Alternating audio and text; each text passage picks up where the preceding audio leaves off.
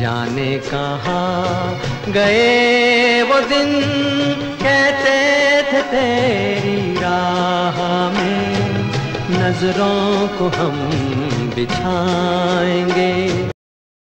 नमस्कार, स्वागत है आप सबका।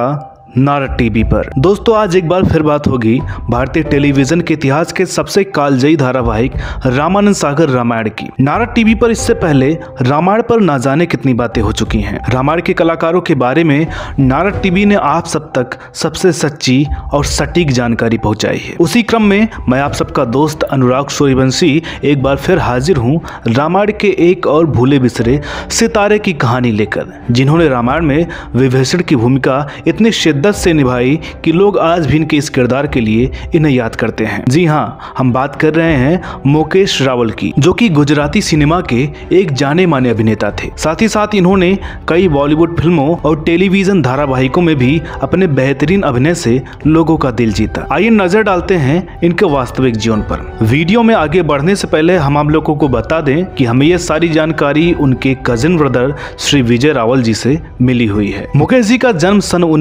1950 में महाराष्ट्र मुंबई में हुआ था। इनके पिता श्री रविशंकर रावल जी बैंक ऑफ़ बड़ौदा के कर्मचारी थे। मुकेश जी अपने माता पिता के तीन संतानों में सबसे बड़े थे। इसके बाद इनके दो भाई देवेश और चंद्रेश। इन्होंने अपनी प्रारंभिक शिक्षा जीएच हाई स्कूल बोरीबली से संपन्न की। आगे की पढ़ाई इन्होंने पोदार कॉलेज मटुंगा से की। वो साल था 1968 और इसी साल इन्होंने पोदार कॉलेज के एक ड्रामा कंपटीशन में हिस्सा लिया। ड्रामा का नाम था आनु नामते नाटक। इसके बाद तो मुकेश जी की दिलचस्पी अभिनय की तरफ़ बढ़ती चली गई और इन्होंने इंटर कॉलेज स्तर पर होने वाले ड्रामा कंपटीशन में हिस्सा लेना शुरू कर दिया। ये इनके अभिनय का ही कमाल था कि उस साल इन्हें हर ड्रामा कंपटीशन में बेस्ट एक्टर का अवार्ड मिला। ये सिलसिला यही नहीं रुका, बल्कि कॉलेज में हर साल होने वाले कंपटीशन में इन्हें बेस्ट एक्टर का अवार्ड मिलता रहा। पर ड्रामे से ही तो घर का खर्च चलने वाला नहीं था। जीविकोपार्जन के लिए कुछ ना कुछ तो करना पड़ता। सो इन्होंने अपने पिताजी के कहने पर बैंक ऑफ़ बड़ौदा में नौकरी ज्वाइन कर ली। और वो साल था उन्नीस सौ इकहत्तर। नौकरी चल रही थी, पर इन्होंने ड्रामा नहीं छोड़ा। नौकरी के बाद भी जो समय मिलता, ये उसे थिएटर में दिया करते। इसी बीच इन पर नज़र पड़ी कांति मड़िया जी की, जो कि गुजराती थिएटर के एक बड़े मशहूर डायरेक्टर थे। इन्होंने अपने एक नाटक, अमे बरस ना पंखी में, मुकेश जी को मेन हीरो के रूप में चुना, जिसमें मुकेश जी के अपोजिट थी गुजराती सिनेमा की जानी मानी अभिनेत्री सुजाता मेहता। इसके बाद इनके अभिनय का सफ़र बड़ी मजबूती से आगे बढ़ता चला गया। इसी बीच, जब गुजराती फ़िल्मों का दौर शुरू हुआ तो मुकेश जी गुजराती फ़िल्म निर्माताओं की पसंद बनकर उभरे। इन्होंने कई गुजराती फ़िल्मों में भी काम किया, पर थिएटर का साथ नहीं छोड़ा। फ़िल्में और थिएटर साथ साथ चलते रहे। और आइए आपको बताते हैं वो किस्सा जिसने इनके अभिनय के करियर को यादगार बना दिया। बात है 1986 की, जब रामानंद सागर अपने नए धारावाहिक रामायण के लिए कलाकारों की तलाश में थे और इसी सिलसिले में वो इंडियन नेशनल थिएटर पहुँचे, जहाँ वे मुकेश जी के अभिनय से इतने प्रभावित हुए कि इन्होंने मुकेश जी को रामायण में काम करने का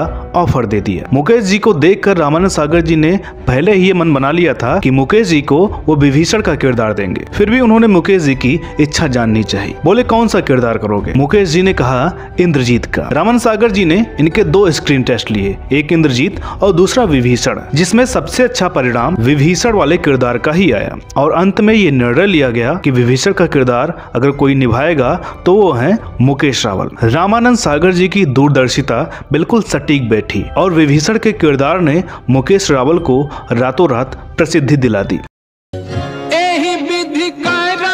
सप्रेम विचारा।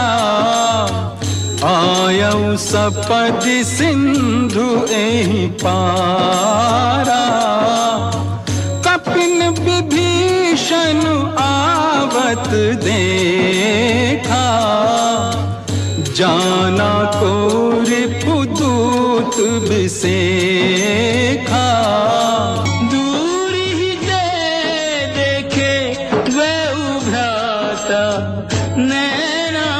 नैनानंद दान के दाता।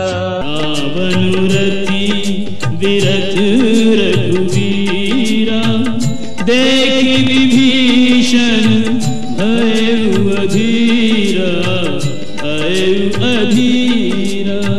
रामायण के बाद इन्होंने दूरदर्शन के कई और धारावाहिकों में काम तो किया ही साथ ही साथ बॉलीवुड फ़िल्मों के दरवाजे भी इनके लिए खुल गए। तिरंगा, कोहराम, जिद, औज़ार आदि कई बॉलीवुड फ़िल्मों में इन्होंने अपने बेहतरीन अदायगी से लोगों का दिल जीता। सब कुछ अच्छा चल रहा था। मुकेश जी की पत्नी सरला से इनकी तीन संतानें थी, दो बेटियाँ और एक बेटा। बात है सन 2000 की। इसी बीच कुछ ऐसा वाक्य हुआ जिसने मुकेश जी को अंदर से तोड़ कर रख दिया। उनका बेटा द्विज, जो कि मात्र 18 साल का था, कॉलेज से घर लौटते समय उसकी ट्रेन से गिरकर मौत हो गई। एक बाप का अपने जवान बेटे को कंधा देने का दुख क्या होता है, ये आप लोग अंदाज़ा लगा सकते हैं। 2001 में इन्होंने अपनी बैंक वाली नौकरी से भी रिटायरमेंट ले लिया। समय बीतता गया और मुकेश जी अपने इस दुख को धीरे धीरे भूलने लगे। ये इनकी ज़िंदा दिली ही थी कि इन्होंने अभिनय का साथ नहीं छोड़ा। थिएटर, गुजराती सिनेमा, हिंदी फ़िल्में और धारावाहिकों के माध्यम से इनके अभिनय का सफ़र चलता रहा। फिर 2016 में कुछ ऐसा हुआ